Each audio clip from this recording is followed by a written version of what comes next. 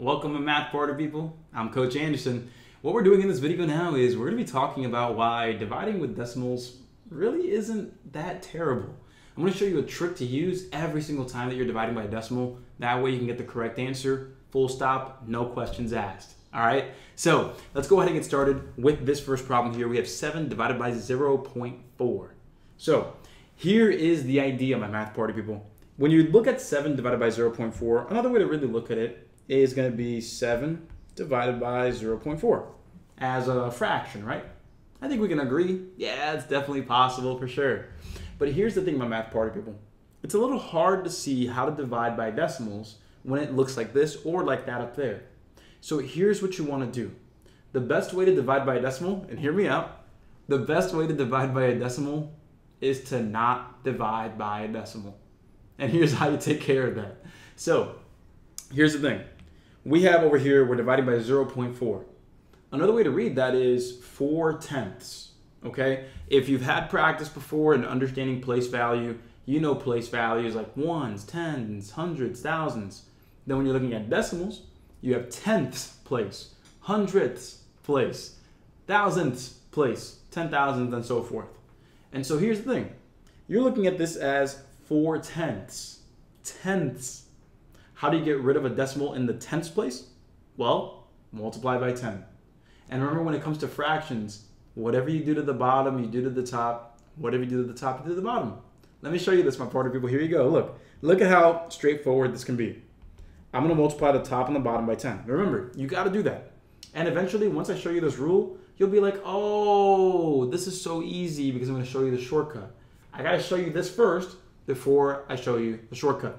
So, my party people, look, when I'm doing this, the reason I'm doing this is because when you multiply by 10, all you're doing is moving the decimal place over to the right one time. So this really becomes a division of 4 now, and then 7 times 10 up top, that's 70. So what this really is, my math party people, is 70 divided by 4. Instead of saying 7 divided by 0.4, which looks a little complicated, just turn it into 70 divided by 4. All you really did was you moved the decimal place over one time for each of the numbers. Whatever I did to the bottom, I did to the top. And since there's nothing there, just put a zero and that'd be 70. And I'm going to show you more and more examples here in this video. So if this is confusing, don't worry. I got you. All you're doing is getting rid of the decimal by multiplying by a 10 or a 100 or a 1,000, however many decimals you need to get rid of that decimal in the denominator. That's it. So let's go ahead and get to work here. 70 divided by 4. So 4 goes into 70, and I'll put decimal places just in case here. But here we go. 4 goes into 7 one time. So that'll be minus 4 to get 3. Bring down the 0 there. 4 into 30, that's 7 times. Because, hey, 4 times 7 is 28. Then you have 2. Bring that decimal back up top right there. Line it up. Bring that 0 down. 4 goes into 20 five times. And so your answer will be 17.5 because it's a clean division and you're set. Just like that. Just like that. Like seriously, just like that. So let me go ahead and show you another problem here. I'm going to show you plenty, plenty, plenty of examples in this video, my math party people. Um, this one doesn't count because anything divided by itself is going to be 1, so we don't really need to do any work here. And don't freak out. Some of you may have looked at that like, ah, how do I do it? You have the same number divided by itself. That's 1, no matter what. Let's go to number 3 here. 7.3 divided by 0.8. So what you can do, my math party people, is this. Basically, the straightforward way is, hey, look, it's 8 tenths, so multiply by a 10. But the easier way, or the shortcut way, which pretty much plays off of that is, whatever you do to the top, do to the bottom. I'm going to move this decimal to the right one time. So I'll take that decimal and move it to the right one time. So basically what I'm saying is 7.3 divided by 0.8 is the same as 73 divided by 8. Move both the decimals at the top and the bottom to the right at the same time. And boom. Keep doing that until you get rid of the decimal in the denominator and you're set. Let's be real, MASVAT party people. You're enjoying this YouTube video, but why don't you join me for a free class? I host a free class once a week for two hours. So imagine two hours of free ASVAB math instruction by yours truly, where you get to ask questions, grow with me, raise your score, and get the job you want. So go ahead, click the link here or in the description to sign up for free. And from there, I'll see you in the next class. But until then, let's get back to the math party. So this becomes 73 divided by 8. And now you can go ahead and put in the work. Now you can put in the work. So here, 8 goes into 0, or 7, 0 times. 8 goes into 73. That's going to be 9 times. Because 7, or 8 times 9 is 72. Put that decimal where it belongs. 8 goes into 10 one time. You got 2 left here. Bring that 0. You got 8 goes into 20. How many times? That's going to be 2 times. So from there, subtract the 16 to get 4. Bring another 0 in there. 8 goes into 45 times and you're set. Because 40 minus 40 is 0 and you're good. So 9.125 is your answer and you're done. I'm to show you a few more examples here, my math party people. I'm telling you, this is not that crazy. It is not that complicated. I got your back, man. I got you. So number four, we have 7.6 divided by 1.52. So this one might seem pretty complicated to us. This one might seem like, hey, I don't want to do this. It's okay, I got you. Watch here. So what we have is again 7.6 divided by 1.52. I do not want to divide by a decimal, so what I will do is I will move the decimal to the right one, two times. And so up top in the numerator, I gotta do the same thing. Essentially, when I move it twice, I'm multiplying by 100 because that's 52 hundredths. So to get rid of the hundredths place, multiply by 100. 1, 2. That's what multiplying by 100 really is. And so do the same up top. 1, 2. Put a 0 right there because you know that there was a 0 there. It was 7.60000 forever. So this turns into 760 divided by 152. This we can get behind. We can go ahead and try it out. Various techniques that we can use here, in my math part of people, various techniques. But to keep it simple, I'll just go ahead and divide it straight up without using the mental math techniques. I'll save that for another video. Here we go. 152 going into 760, and I'll put some decimal places just in case. So 152 can't go into 7, can't go into 76, but it can go into 760.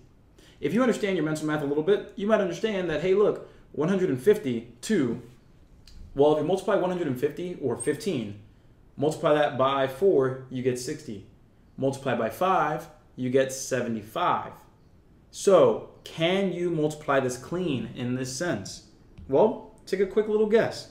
Could I multiply 152 by 5? So this does take a little bit of mental math, but here, 2 times 5 is 0 for 10. 5 times 5 is 25, carry the 126. 1 times 5 is 5, carry the 2 is 7. So we actually didn't even need to do that. We found that the answer is 5. It's clean, it's straight up, and you're done. So let me go ahead and show you some more examples here where, well, this one's going to be 1. Anything divided by itself is 1. Let's take care of another example here. So 4.1 divided by 5. Do I need to do that decimal trick where I move things over here? No, not at all. You can straight up start right here. 5 goes into 4.1 and you can put some zeros there. The reason I'm doing this is because my math party people, remember, the number you're dividing by can't be a decimal. It's going to be way too complicated to look at the number you're dividing by. If it's not a decimal, start dividing. You're good. 5 goes into 4 zero times. 5 goes into 41 8 times. 5 goes into 10 twice. 0.82. There it is, and you're good. Next up, here we go, my math party people. We got this. Uh, 3 divided by 4. I think we can agree that what we're doing here is going 4 into 3. 4 goes into 3 0 times. 4 goes into 37 times. Then 4 goes into 20 5 times straight up and then we have 0.75. So that one was, again, a little easier. I'm looking for problems where you're dividing by a decimal, and you got to make sure that you're not dividing by a decimal here. So here, 7.8 divided by 2.5. Again, what we can do is you can move those decimal places over at the same time. So what I'm saying is move that over to the right once and there to the right once. So you can make the number in the denominator not a decimal. So really what you're looking at is 78 divided by 25. So let's go ahead and get to work here and let's get it done. 25 goes into 78. Put some decimal places just in case. And here we go. 25 goes into 7, 0. 25 goes into 78 three times. 3 times 25 is 75. So you have 3 left over. Put that decimal place where it belongs. 25 goes into 30 one time. Subtract that 25, you got 5 left over. Bring down that 0. 25 goes into 50 two times. And that's clean. And you are done. That's it. And you're good. Again, really the only rule that we have to really consider is hey, we don't want to divide by a decimal. That is it. So if you're looking at 8.4 divided by 0.2, again, I don't want to divide by a decimal. So this right here, move it away. Multiply by 10 or just move the decimal place over. And you got to do the same thing over here. Just do the same thing the same number of times. And what you're looking at is 84 divided by 2. And we can actually do that in our heads. 84 divided by 2, that's 42. That's 42. That's D. And we're set. We're feeling pretty good about that one too. Here we go, my math party people. Let's go and do another one. Do you need to perform the trick here? Absolutely not. You can seriously just go ahead and do 10 divided into 0.1 and keep putting those zeros there. 10 goes into 0, 0 times. 10 goes into 1, 0 times. 10 goes into 10 once. So 0.01 and you're done. Again, if you are not dividing by a decimal, you don't need to use that trick. When you are dividing by a decimal, so like over here, 3.9 divided by 2.6, hey, I don't want a decimal place there, so I'll move each of them over to turn this into 39 divided by 26, and then perform your math just like that. And really quick, before we continue my math party people, I know you're enjoying this, and you can have thousands of problems just like this in our program. In our program, you have four main things to help you succeed and more. But mainly in our course, you're gonna get access to recorded lessons, you're gonna get access to guided practice just like this, worksheets that you can print out and try or keep them online. And lastly, speed drills to raise your confidence. That way, when you take the test, there's no test anxiety, there's no pressure because you've been timed before, you know what to do, and that's the feeling that we want. And all of that's included in our program and more. So take a brief moment, click the link here in this video or in the description to learn about the program and then reach out to us if you have any questions. Sign up now, let's get going, and let's get back to the problem.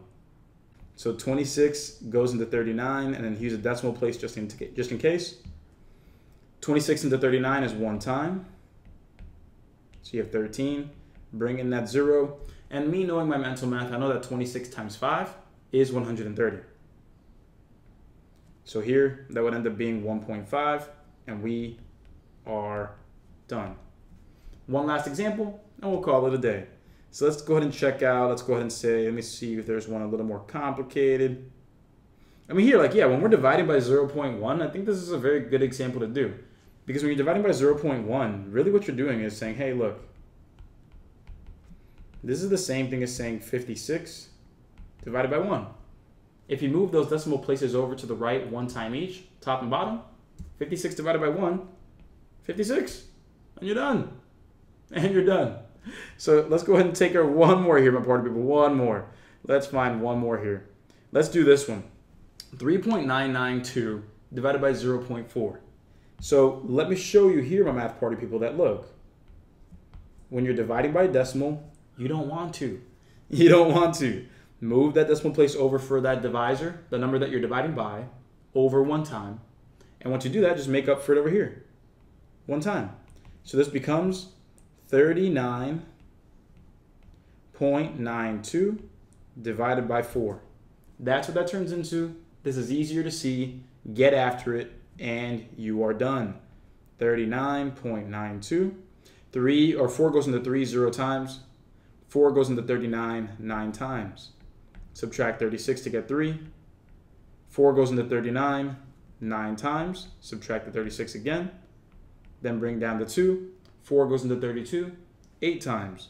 So you have 9.98. That's a clean 9.98. And you are done. And so, my math party people, again, at the end of the day, I really hope that you're seeing that look. With every single thing that you're learning in math, there's a rule, there's a procedure, there's something you can follow to give yourself the best chance to succeed. And that's all I'm here to provide you with.